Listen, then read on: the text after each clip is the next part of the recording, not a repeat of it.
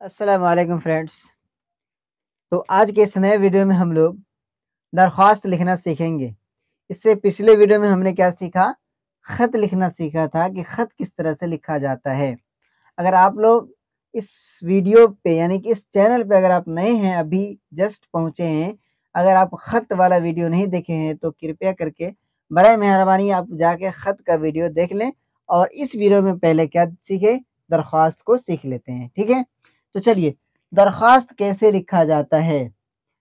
बहुत सारे स्टूडेंट को, बहुत सारे स्टूडेंट को ये दिक्कतें रहती है, हमेशा दिक्कतें रहती है कि भैया हम दरख्वास्त लिखेंगे कैसे?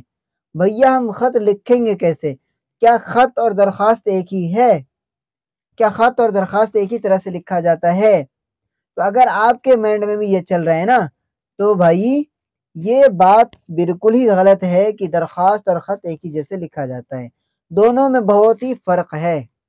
दरख्वास्त कुछ अलग तरीके से लिखा जाता है और ख़त भी कुछ अलग तरीके से लिखा जाता है, जो कि मैंने ख़त के बारे में बता दिया है पिछले वीडियो में और इस वीडियो में बताने जा रहा हूँ दरख्वास्त के बारे में। तो आप वीडियो के लास्ट तक यानी कि आखिर तक बने रहिए ताकि आपको पूरा का पूरा समझ में आ जाए। ठीक है दोस्तों, चलिए। तो अपने हेड मास्टर को दरख्वास्त लिखें जिसमें दो दिन की छुट्टी की हो। यानी कि दो दिन की छुट्टी की हमें दरख्वास्त लिखनी है। अपने प्रिंसिपल साहब को, अपने हेड मास्टर को दो दिन की छुट्टी का दरख्वास्त लिखना है। तो देखिए, कैसे लिखेंगे? इसमें जो सबसे पहले लिखा जाता है, वो लिखा जाता है, सबसे पहला काम, सबसे पहला काम जो लिखा जाएगा, वो लिखा जाएगा, बखिदमत जनाब। क्या लिखेंगे? बखिदमत जनाब। हेड मास्टर साहब, किसको लिख रहे हैं? हेड मास्टर को लिख रहे हैं ना? हेड मास्टर साहब। बखिदमत जनाब हेड मास्टर साहब, ठीक है? अब यहाँ पे क्या करेंगे? स्कूल या फिर कॉलेज का नाम देंगे। किसका नाम देंगे? स्कूल या फिर कॉलेज का नाम यहाँ पे दे देंगे। किसका नाम दे देंगे? स्कूल या फिर कॉलेज का नाम दे देंगे। ठीक है? सबसे पहले, बखिदमत जनाब, हेड मास्टर साहब, स्कूल का नाम दे देंगे, या फिर यहाँ पे हम सलाम भी कर सकते हैं। अस्सलाम वालेकुम रहमतुल्लाहि व अगर सलाम यहाँ पे दे रहे हैं तो बहुत ही अच्छा हो जाएगा, ठीक है? और उसके नीचे वहाँ पे स्कूल का नाम दे दीजिए, या फिर कॉलेज का नाम दे दीजिए। अगर आप कॉलेज के स्टूडेंट है तो कॉलेज का नाम दीजिए। अगर आप स्कूल के स्टूडेंट है तो आप स्कूल का नाम दीजिए, ठीक है? यानी कि अगर आप हाई स्कूल में पढ़ रहे हैं, अगर आप अभी हाई स्कूल में एजुकेशन ले रहे हैं तो आप अपना हाई स्कूल का नाम दीजिए। अगर आप प्लस टू में हैं मतलब इंटर लेवल पे हैं तो आप कॉलेज का नाम दीजिए, ठीक है? तो चलिए, इसका, इसके अगला कदम जो है, वो क्या है? यहाँ पे लिखेंगे, बखिदमत जनाब हेड मास्टर साहब के बाद जनाब आली। क्या लिखेंगे? जनाब आली। उसके बाद एक्सक्लामेशन मार्क दे देंगे यहाँ पे, जनाब आली। ठीक है? क्या लिखेंगे? जनाब आली।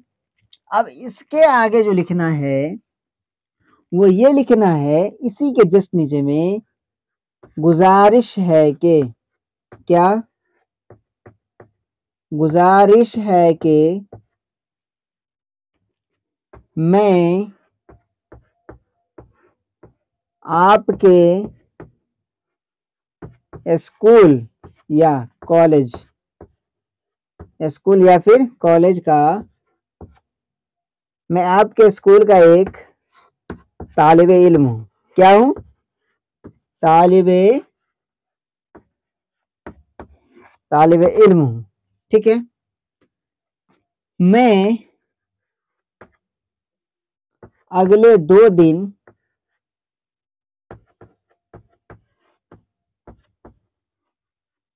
स्कूल किसी वजह से हाजिर नहीं हो पाऊँगा। अब देखिए, ये क्या है कि जनाब यारी गुजारिश है कि मैं आपके स्कूल का या फिर कॉलेज का एक तालब इल्म हूँ। मैं अगले दो दिन स्कूल किसी वजह से हाजिर हाजिर नहीं हो पाऊँगा, हाजिर नहीं हो पाऊँगा। अब अब इसके नीचे लिखेंगे, इसीलिए,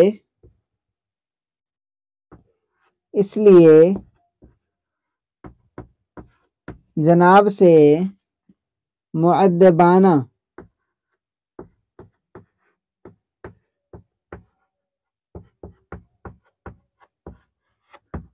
गुजारिश है कि मुझे दो दिन की छुट्टी।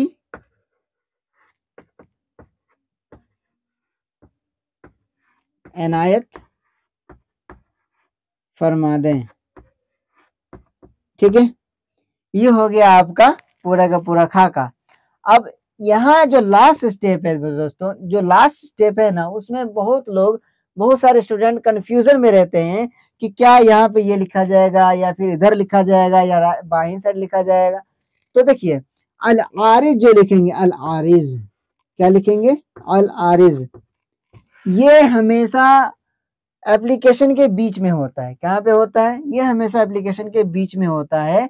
ये आप बीच में लिखेंगे। यहाँ पे आप अपना नाम लिखेंगे।